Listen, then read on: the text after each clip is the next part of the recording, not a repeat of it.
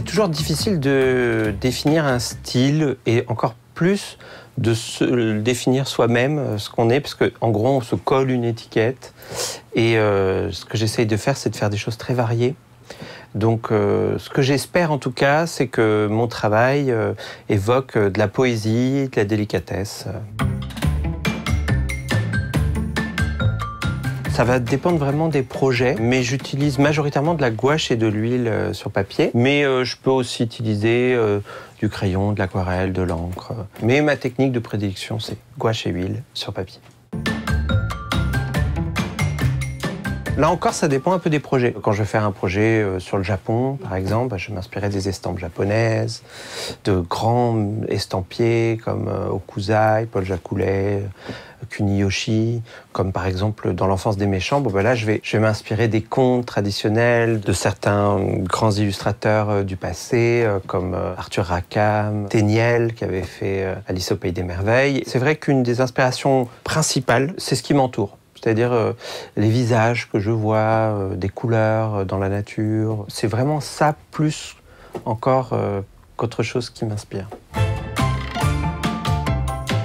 Il y a les contes, c'est vrai, mais finalement, plus encore que les contes, c'est ce qu'on peut appeler les classiques. Parce que c'est vraiment quelque chose qui me fascine et qui me passionne depuis euh, euh, longtemps. Déjà, moi, en tant qu'enfant, en tant que lecteur, euh, c'est euh, vraiment euh, une littérature que je dévorais, que j'adorais. Et ensuite, parce que je me suis rendu compte, en travaillant dessus, qu'ils étaient beaucoup plus que les événements dont, ils, dont ils traitaient. La raison qui fait d'un classique un classique ou d'un conte un classique, c'est la dimension atemporelle, c'est-à-dire que c'est des problématiques profondément humaines qui sont évoquées à travers des métaphores, des êtres fantastiques, du merveilleux, et ça permet en fait de parler de choses très très profondes. Et c'est ça qui m'intéresse beaucoup beaucoup en fait dans, les contes et dans les classiques. J'adore euh, les animaux, c'est vrai que je pense que sont dans tous mes livres. Je pense qu'on a beaucoup à apprendre des animaux sur leur, relation aux autres, le respect qu'ils ont euh, les uns avec les autres. Puis j'aime beaucoup les, dessiner aussi. Hein. Je trouve qu'il y a un pouvoir de projection quand on utilise les animaux euh, qui est assez impressionnant. C'est pas pour rien d'ailleurs que dans la littérature de jeunesse, il y a une grande partie de la littérature qui est de la littérature euh, animalière. Et ça depuis très très longtemps, depuis, depuis le début des livres, depuis Benjamin Rabier, depuis les Fables de La Fontaine. Ça, ça permet vraiment de se projeter l'identification.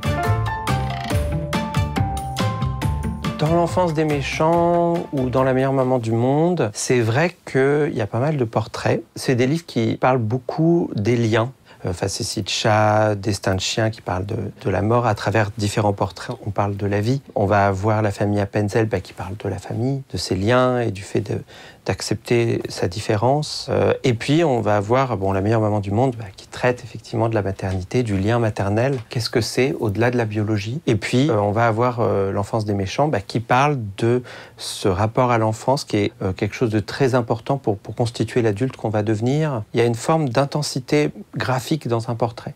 C'est-à-dire qu'on va se fondre un peu dans ce regard, dans ce personnage, aussi dans ce qui l'entoure. Ça peut beaucoup parler. Dans, l'enfance des méchants, par exemple, j'ai beaucoup, beaucoup travaillé aussi les arrière-plans qui disent beaucoup du personnage. Et au-delà des caractéristiques physiques du personnage, eh ben, on va comprendre beaucoup, beaucoup de choses de lui à travers l'univers euh, qui l'entoure.